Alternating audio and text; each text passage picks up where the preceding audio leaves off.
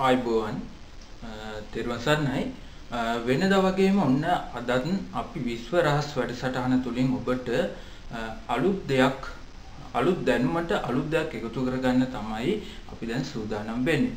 එහෙමනම් අද අපි කතා කරන්න බලාපොරොත්තු වෙනවා මේ විශ්වයේ තියෙන නොයෙකුත් ශක්ති ප්‍රභේදයන් පිළිබඳව කතා කරද්දී එයින් එකක් තමයි අපි මේ ඉෂ්ට දේවතාවුන් වහන්සේ. ඔබ සමහර වෙලාවට අහලා තියෙනවා. මොකද ඉෂ්ට දේවතාවුන් පිළිබඳව ඔබ අහලා තියෙනවා. ඒ වගේම සමහර වෙලාවට ඔබ ඔබගේ ඉෂ්ට දේවතාවුන් වහන්සේ හැටියට යම්කිසි දෙවි කෙනෙක් ඔබ වැඳුම් පිදුම් කරගෙන එනවා ඇති. අද අපි ඔබට කියලා දෙන්න බලාපොරොත්තු වෙන්නේ විශේෂයෙන්ම නිවැරදි ඉෂ්ට දේවතාවුන් වහන්සේ කවුද?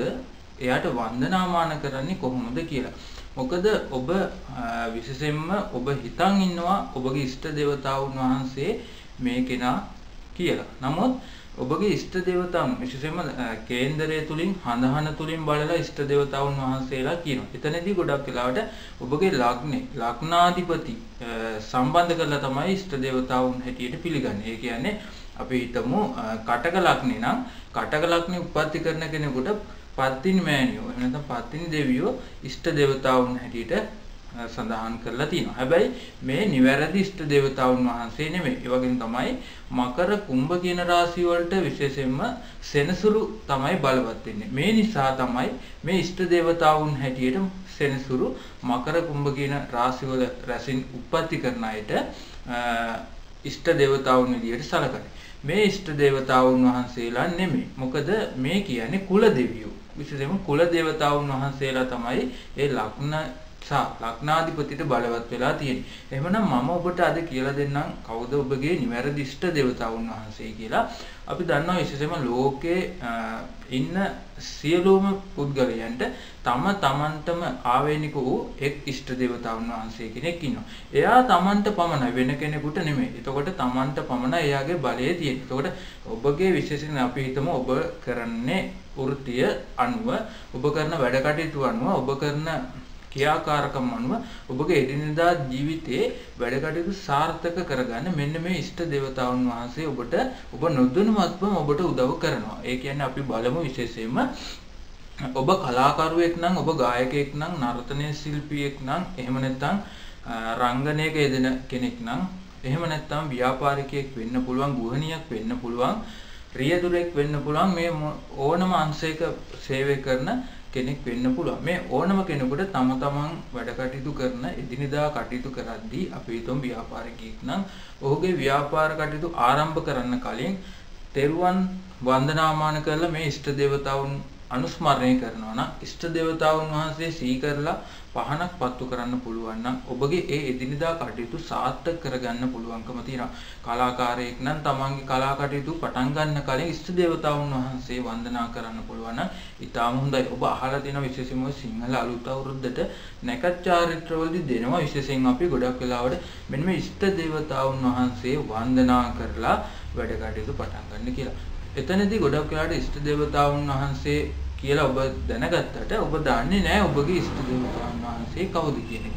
ඒ නිසා විශේෂයෙන්ම අපි ඉෂ්ට දේවතාවුන් වහන්සේ විදිහට මම අද ඔබට කියන්නම් කවුද කියලා. එතනදී ගොඩක් වෙලාවට ඔබ ඔබගේ වැඩ කටයුතු සාර්ථක කරගන්න, එදිනදා කටයුතු සාර්ථක කරගන්න, සාර්ථක කරගන්න විශේෂයෙන්ම ඔබ ගෘහණියක් නම් ඔබගේ කටයුතු සාර්ථක කරගන්න, ඔබ දරුවෙක් නම් ඉගෙන ගන්න කටයුතු සාර්ථක කරගන්න, ඔබගේ ඉෂ්ට දේවතාවුන් වහන්සේව වන්දනාමාන කරලා ඉන්න හොඳයි.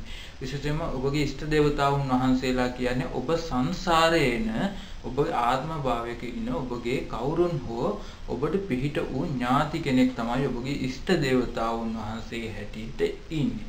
හරිද? එතකොට විශේෂයෙන් බලන්න පුළුවන් ගොඩක් වෙලාවට මෙතනදී දේව කුල. ඒ කියන්නේ ඔබ හිතන්න එපා විශේෂයෙන්ම ඔබගේ සෑම ඥාතියෙක්ම දෙවි කෙනෙක් හැටියට උප්පත්ති කරනවා කියලා. එහෙම වෙන්නේ නැහැ.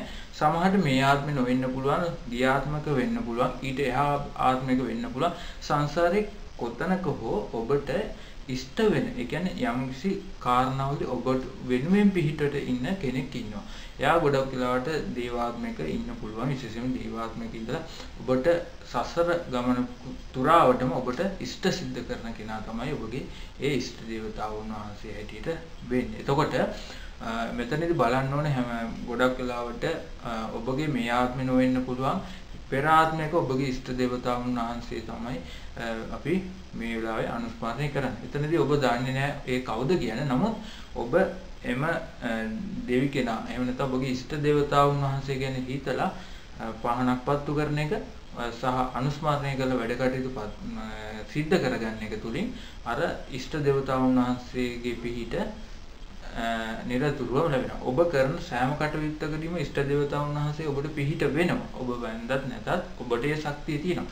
නමුත් ගොඩක් වෙලාවට ඔබ නැවත ඒ අනුස්මරණය කිරීම තුළ අර ඔහුගේ එන ශක්තිය ඔහුගේ බැල්ම තව වැඩි වෙලා දෙනවා. ඔබ අහලා තියෙනවා දේව කුල නොයෙකුත් විදිහේ කියන්නේ මහේසාකි දෙවිවරු ගැන අහලා තියෙනවා.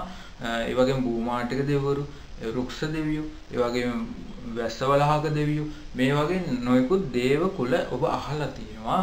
ඒ වගේම තමයි මෙතනදී කියන ඉෂ්ට දේවතාවුන් වහන්සේ, ඒ වගේම කුල දෙවියෝ. ඔය කුල දෙවියෝ කියලා මම ඉස්සෙල්ලා කිව්වේ ඔබගේ ලග්නෙට බලවත් වෙන කෙනා. එතකොට ලග්නේ සම්බන්ධව කෙනා තමයි ඔබගේ කුල දෙවියෝ වෙන්නේ. ඒ වගේම ඔබේ ඉෂ්ට දේවතාවුන් වහන්සේ හැටියට එන්නේ පරම්පරාවෙන් හෝ ඔබගේ ඥාතියෙක් විශේෂයෙන්ම ඈත ආත්මික දෙවි කෙනෙක් හැටියට ඉන්නවා. ඒක ඒ දෙවි කෙනා ඔබට පමණයි. ඔබට පමණයි උදව් කරන්නේ. ඒ නිසා ඔබ ඔබගේ ඉෂ්ට දේවතාවුන් වහන්සේට නිවසේ එළියේ පහනක් පත්තු කරලා ඔබ එදිනෙදා කටයුතු කරන්න කලින් අනුස්මරණය කරගන්න පුළුවන් නම් ඔබට විශේෂයෙන්ම ශක්තිය ලැබෙනවා. විශේෂයෙන්ම මෙතෙන්දී ඔබගේ ගුරුවරයෙක් වෙන්න පුළුවන්, දෙමව්පියෙක් වෙන්න පුළුවන්, ඥාතියෙක් වෙන්න පුළුවන්, යාළුවෙක් වෙන්න පුළුවන්, හිතවතෙක් වෙන්න පුළුවන්. මේ කවුරුව ඔබට ඉෂ්ට දේවතාවුන් වහන්සේ කෙනෙක් හැටියට පිහිට වීමට සිටිනවා.